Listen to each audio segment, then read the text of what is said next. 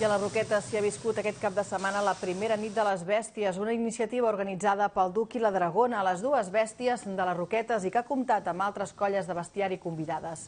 L'Anguila de Gavà i els dracs de Calafell, Sant Boi, Nous Barris, Viladecans i Cubelles han acompanyat els anfitrions, el Duc i la Dragona. El Correfoc ha estat el plat fort d'una jornada que començava al matí de dissabte amb tallers i exhibició de colles infantils i que continuava també amb una tabalada i un espectacle de llum i foc.